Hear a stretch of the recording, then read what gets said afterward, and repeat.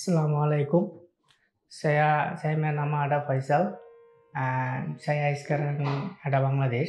Saya dulu ada Gija Malaysia. Saya maya lama ada Gija Malaysia tapi Gija-Gija saya ada sakit belakang. Tapi sudah satu tahun lebih saya main belakang ada sakit-sakit. Tapi saya dego saya tak boleh tahan.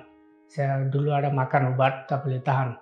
Nanti saya sekarang masih sekarang saya mari Bangladesh. Saya ma saya mari Bangladesh terus saya masuk hospital.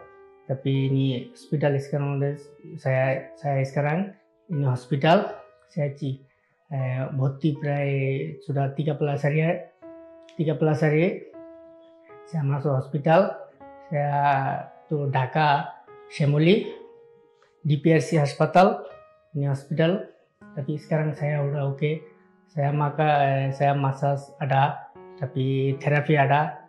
semua ada semua ini hospital maya bayi orang semua orang ada gereja maya maya bayinya apa apa masalah semua boleh dego dia orang tapi saya sekarang saya body sekarang oke okay. sudah 13 hari saya ini hospital dulu saya body sekarang oke okay. tapi sekarang saya tak sakit apa apa tak oke okay. tapi hari ini saya rilis thank you assalamualaikum assalamualaikum আমার নাম ফয়সাল আমি গত আট বছর মালয়েশিয়াতে ছিলাম তারপর গত এক বছর ধরে দেখতেছি আমার মাঝে খুব সমস্যা, অনেক ব্যথা হইতেছে।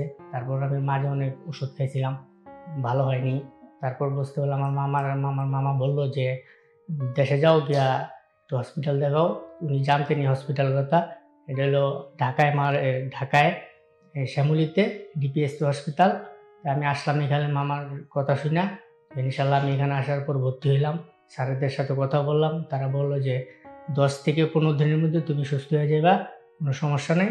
তারপর কথা হলো, আমি আজকে তেরো দিনের মধ্যে প্রায় সুস্থ। আমি এখানে ভর্তি হওয়ার পরে তেরো দিন চিকিৎসা করার পর আমি এখন সুস্থ। ইনশাল্লাহ তাই আজকে আমার রিলিজ দিবে, আমি আজকে চলে যাব।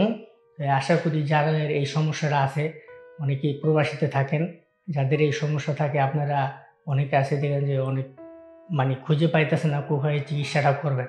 আপনারা ইচ্ছে হলে শ্যামলিতে ডিপিএসপি হাসপাতালে আসুন, আশা করি আপনাদের সমস্যাটা সমাধান হবে এবং কি আপনারা দেখতে পারেন। আসসালামু আলাইকুম।